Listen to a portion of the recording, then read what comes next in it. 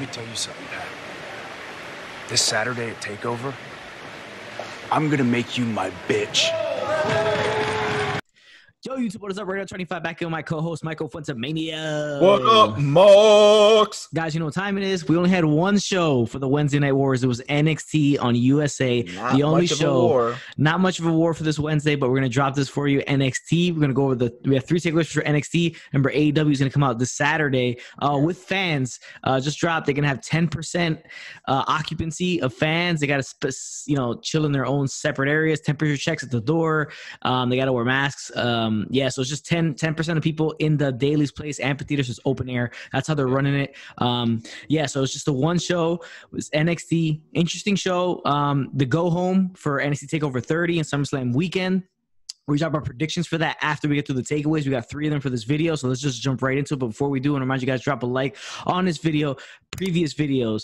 Um, hit the subscribe button if you're watching the video and you're not subscribed to the channel. Notification bell so you guys are alerted when stuff drops, new videos, live streams, stuff like that. Follow me on Twitter, Instagram. Follow the Twitch for the live streams. All that pop on your screen. Description below as well. Let's jump right into it. Our three takeaways from NXT on Wednesday. And NXT started off with a qualifying match for the NXT North American Championship five man ladder match. We had Johnny Gargano versus Ridge Holland. Man, that Ridge Holland's a lot of man. That's a that's a beefy guy. Yeah. It's a Beefy big, it's a man. big man there. It's a Um, lot of meat. It's a lot yeah, of meat on that guy, there's a big size difference between the two guys, but um, we all figured the outcome was going to be what it was. Johnny Gargano gets the win here from help from Candice LeRae. She's, um, you know, I, I really enjoy Johnny as a heel. I think it adds Yeah, another layer really to him. Yeah, I think he, he And with his illustrious wife there, it, it even adds just a li- little more fun you can play with there. Yeah, um, but yeah, um, Holland. I mean, he looks, you know, pretty looks pretty good. Um, I, you know, I, I don't know how long he'll be there and then go back to uh, NXT UK or how that'll work. Um, there was a scary spot here. I'll put a clip of Yeah, it. Um, Botchamania. yeah, where Ridge Holl- Holland's going for like a, a, a quick power slam, but kind of drops Johnny on the side of his head. It was bad. It was bad. Put the clip up. You guys see it. Um, For 20 years, I have never seen an injury, a fall like that before. it was pretty. good. It was pretty rough. But Johnny Gargano continues on, qualifies for the North American Championship ladder match. Hopefully, he's able to compete. I don't know how long ago this was taped, so we don't know. It looked like a pretty bad injury. Um, he went through with the rest of the match, but let's see. Um, guys, next thing on the show, it was Dakota Kai versus somebody called Jessi Kamea. Now, if you don't know who Jessi Kamea is, not many people do. I dropped a video talking about Retribution, who I think some of the members might be. She is in that video, and you see her today, yes, last night, and with the tips of her hair colored the way it is, um, I kind of think she is a certain somebody that we saw Retribution last Friday on SmackDown. But I'll put the video up on the screen now, so you guys can click on that, and if you haven't seen it, and see who I'm talking about. Um, but you know, it's Dakota Kai versus Jessi Kamea. Dakota Kai obviously is gonna get the win here you know, keeping her strong going to Io Shirai's um, her match against against Io Shirai, and uh, like I said, it's takeaway number one right here. It is because Dakota Kai during this whole kind of run for the NXT Championship, Women's Championship, she's been running solo, right? Um, she hasn't had Raquel Gonzalez with her. She's been going at it solo. Here comes Io Shirai after the match. They brawl a little bit. Io Shirai gets the upper hand, and boom, out of nowhere, Raquel Gonzalez drops Io Shirai bad with the big boots to the face. Well, there's going to be no crawling away. Oh, what the hell? Raquel Gonzalez. then drops her on later in the ring. And Dakota Kai once again is Raquel Gonzalez in her corner. Now she's going for the NXT Women's Championship.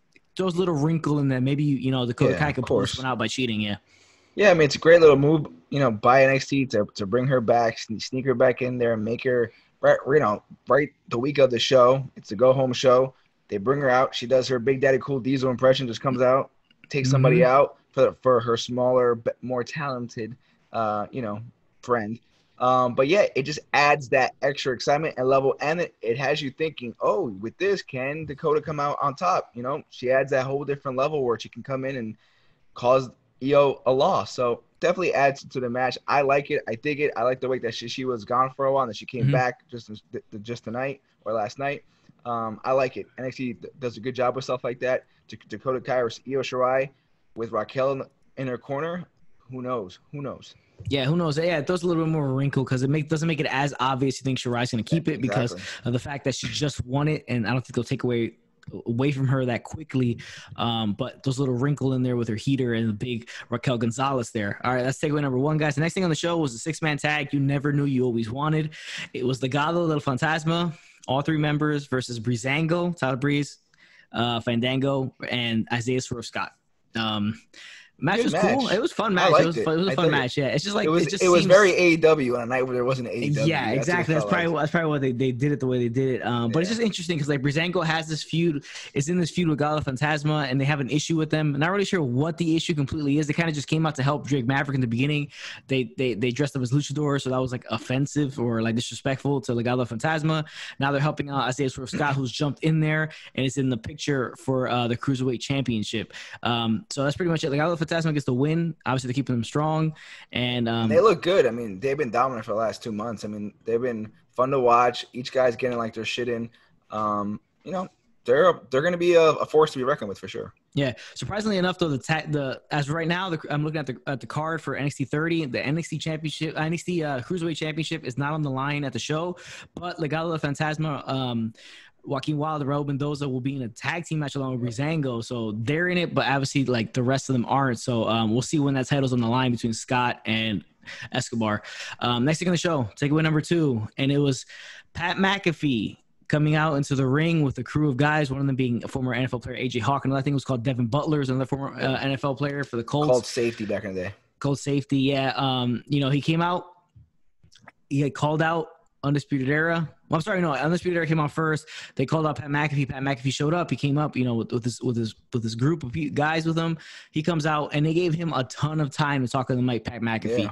and he did a really good job. He came off really well. Really uh, douchey, kept calling everybody stupid. The fans, Yeah. he made fun of all the internet marks and wrestling marks and all that stuff like that. Um, which is cool. That's what he's doing. That's what he's supposed to do but he's coming off real heelish here, and you know, they they kind of go for like a tussle, but you know, security's kind of there to break it up so they don't ever touch. And um, yeah, Adam Cole says he's gonna make him his bitch. Uh, you know, at Takeover, so we'll see what happens. It's gonna be pretty interesting. I don't know if the rest of these guys are gonna be around the match, like uh, AJ Hawk and them. Um, I, they're I think they will. I, I I think he, he has a posse. He's on the show a lot with him on the Pat McAfee show. Him and AJ have like a little like friendship going on um, from the Ohio State. Um, but yeah, I think it's I, I think he, he did a great job. McAfee did a great job for, for for what he was there for. His promo was good. His promo felt like a like a seasoned vet. Yeah. Honestly, again, he does a lot of promos on his show on ESPN on Barstool, whatever. He's kind of always been that that loudmouth talker anyway. So it, it wasn't that surprising, but they did give him a lot of time, and he, and he did a great job with it. And the fact that Adam Cole just got a couple things in there just to add to it was perfect. Um, this match is going to be interesting, just in the fact that we've Pat McAfee, like you said, he's only had two weeks of training. I mean, I, I don't know what the hell kind of match we're going to see, or if he can go in there and really be, you know, a force. Um, but he's he's going against one of the best in the world, and I'm sure Adam Cole will elevate him and make it as fun a match as you can. And will he punt his head off? That's the key question. True that. Um, interesting to see though. Like I did, I was interested how.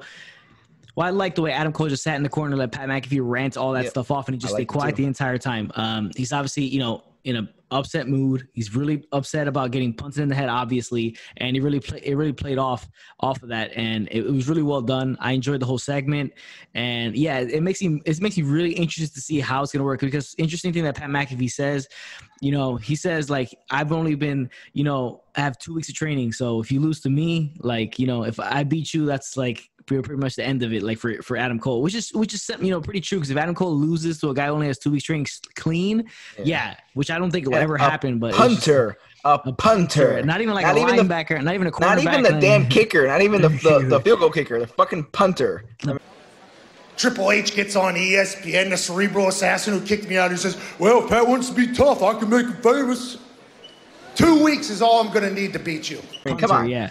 Um, but yeah, so that was interesting. You know, he said that, and um, he said, you know, a couple couple shots he took at, uh, well, not shots, but bragging a little bit. He says he said he said made a million dollars in seven different professions, and if he did this one full time, meaning prof- prof- professional wrestling, it would be his eighth. So a lot of trash talk from him. He's got the gift of gab. He's an entertaining guy, so it comes off very well. And like I said, you know, he said if you know if he beats if you if you beats Adam Cole with two, only two weeks of training, then you know it sucks to be Adam Cole. But I don't I doubt it's gonna be if we'll get to it in our predictions, but like we'll you know I, I don't think it's, I don't think it's gonna be anything clean about this unless Adam Cole clean victory. Otherwise, it's gonna be a lot of schmozziness going on here. But guys, that's takeaway number two. Next thing on the show: Rhea Ripley and her girl Shotzi Blackheart versus Mercedes Martinez and Aaliyah of the Robert Stone brand. Um, match was what it was, and nothing special here to talk about. Uh, Yeah. Blackheart and Ripley get the win, but interesting uh, Mercedes Martinez gets powerbomb onto the concrete floor on the barricade, which is a pretty cool spot from Rhea Ripley. She grabbed it from the apron, brought Mercedes over in the powerbomb position, threw her right over the, the, the barricade onto the floor. So that's He has Martinez. Martinez. No, no, no, no, no! Bomb! Power bomb by Ripley! going to continue that feud, and Shotzi's thrown in there. So we'll see how that ends up. Or Rhea Ripley and Mar- Mercedes Martinez is like the money of it. So we'll see how that goes. Uh, next thing on the show, main event time, and it's takeaway number three. It was the North American Championship qualifier match: Finn Balor versus the Velveteen Dream. This was interesting because they had ladders set up by the ring. Obviously, like props, like said, oh, you know, this is for the ladder match, even though we all knew it was. Uh, and Cameron Grimes sat on top of that ladder the entire match. And then everybody from the match came in, started interfering all over the place. Yeah, Johnny Gargano pushing Cameron Grimes off the ladder. He he bumps the ref as he comes in the ring. The ref is knocked out for the rest of the time. You have um, you know, Johnny Gargano getting involved, like I said. You have um Bronson Reed, you had Damian Priest getting involved. A lot of stuff going on here. And Velveteen Dream pulls out the win. He qualifies. Well, then- you're missing the point here because Timothy Thatcher came out and knocked out Prince. Uh, Well, I was gonna uh, get, Finn- yeah, I was gonna get Finn. to yeah, yeah. So he knocks Well, out, yeah. He uh, Timothy yeah, he- Thatcher does knock out uh, Finn Balor. Obviously, then the Big hero! Mamma mia! What action! What a match! Oh, wait! Oh! That- That's Timothy Thatcher! triple threat match that they had. Um, you know, Balor attacked Thatcher after the loss in the triple threat, Yeah. so he's getting paid back, throws him back in the ring, and then he hits a uh, Dream Valley driver with the elbow drop, and Dream gets the win. Yeah, you're correct. Yeah, but too much, too much hoopla going on here. Yeah, yeah, you know, much going on. yeah, I, I don't like these types of um things. We have multi-man matches like when they do Royal Rumbles, right? Royal Rumble, they have feuds. It's like okay, a segment where everybody's in the ring fighting each other for this in the Royal Rumble, the bigger guys. But it's not it's normally not during a match, right? It's normally not during a match. It takes away from the match. It's normally like Yeah. a promo segment and everybody jumps in and starts fighting each other. That's fine. Or, or yeah. after the match would have after the been match, fine. yeah. After the match would have been fine. But just like because you were excited for the match because you, you, there's a match that's very interesting. You have Finn versus uh, Dream, and, and it's something that, that you're looking forward to, and these guys can really go and have a bust ass match. And then you have Cameron Grimes come out and ruin it just on the ladder. And he an was there like the entire time. the entire match. forever, It just like it was just like stupid. And then you have everybody just come out.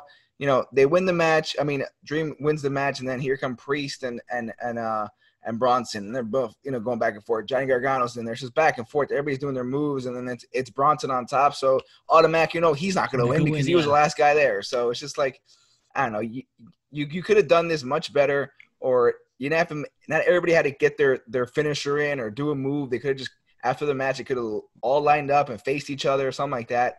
Um, just something more, you know, this was like so overbooked and it's too much going on, and it took away from the match that could have been so Yeah. good. And the, like that's where WWE fucks up a lot, where they they put the match secondary to what like the storylines going on, you know. And sometimes if you just have the match go and they do do the storyline, it works that much better because then you convolute things, you get everything so just too much crap thrown in around. You're just you can't even focus on what's going Yeah, on. I just think yeah, especially Cameron Grimes sitting there up there, distracting from the match the entire time. Um, I know he's a, you know he's playing that real douchey, annoying character, which is what he is, um, which is fine. But just the entire match sitting up there, and then and then all the bumping goes on, and then the ref bump, and then everybody gets in the ring, bunch of stuff going on. Timothy Thatcher, who's who lost how many weeks ago, um, and he Yeah, comes like, out I- gets gets his I, revenge. I forgot that he even lost, and he came out looking like a mechanic with Dickies on. I don't know. It was weird. Yeah, Um, so that, that feud's gonna happen from Balor Timothy Thatcher. It, as of right now, it's not taking place at NXT Takeover 30. Um, but yeah, guys, that's takeaway number three. Let's jump into our predictions um, for the card at NXT Takeover 30. We got the pre-show match, which I alluded to earlier. It's Legado del Fantasma. You got Joaquin Wilde and Raul Mendoza versus Breezango versus Oni Lorcan and Danny Burch. Winner is number one contender for the tag team championships. I think I'm gonna have to go with Breezango. Okay, you're going with Breezango. I think I'm going with the team that's on a little bit of a hot streak, that's getting the big push. Gallo del Fantasma. I think they're gonna win it. I think they're, uh, you know, they've been pushing them strong, and they're looking like one of the better storylines and groups, factions in the company. So I think I'm going with them. That's my pick.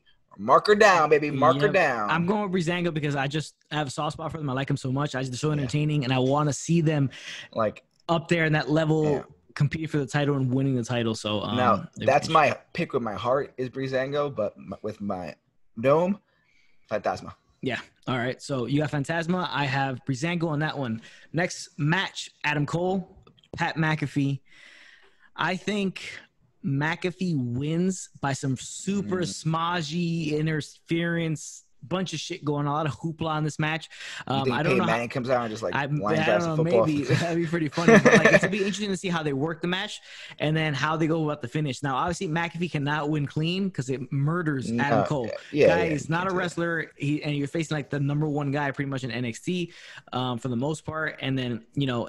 If Cole wins, he wins obviously clean. But I think McAfee wins with some crazy smodgy finish that gets Adam Cole to another to, to his next, you know, uh, storyline, next his next feud with somebody else, maybe that screws him over during this match, something like that. But I think McAfee wins due to screw job. Um, I'm gonna go with you on this as well. I think that uh, McAfee wins on a screw job finish. Uh, I'm not sure where they go from there. I don't know if they continue this um, going forward. Maybe have another match or something goes on. But I think McAfee is definitely going to win the match in a weird, convoluted.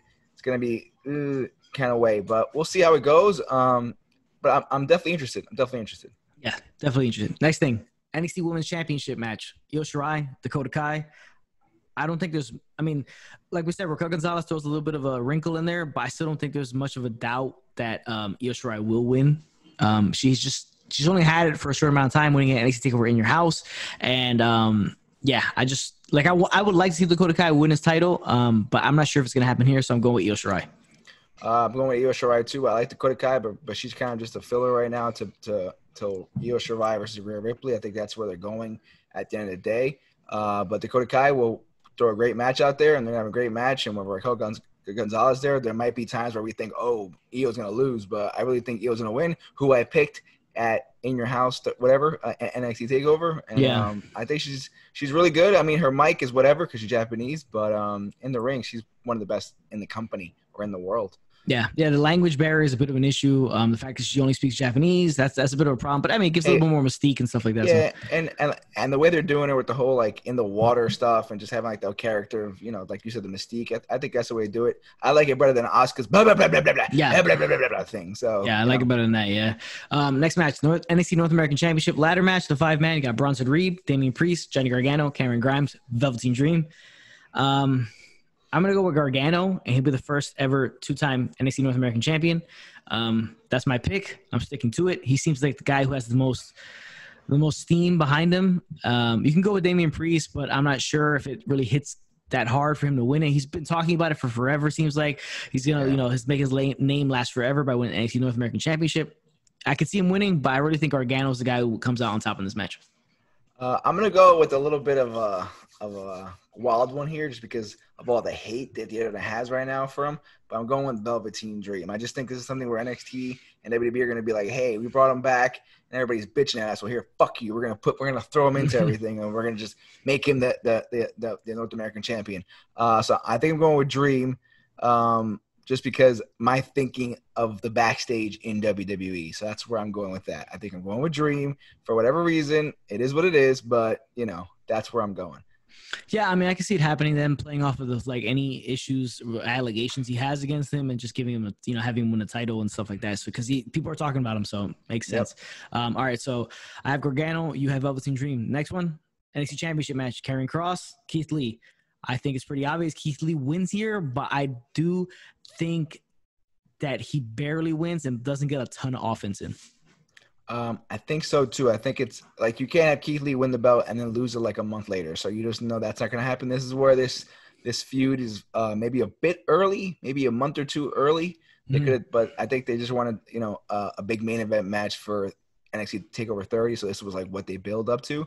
Um, I'm just thinking it's going to be in a way where, you know, like you said, either Keith Lee gets dominated but sneaks out a win, or something has to happen where um, Kross either loses it for himself or Scarlett gets in the way or Maybe- anything maybe- like that. Maybe Ciampa comes back and and and Yeah, crossover. Maybe be something like that. Yeah. maybe something like that, but it has to be a smudge because because you got to keep care. You can't do the the Lance Archer thing and just build a monster and just Yeah, right and just can't have him running around. You can't do that. So you have to build Karrion Kross.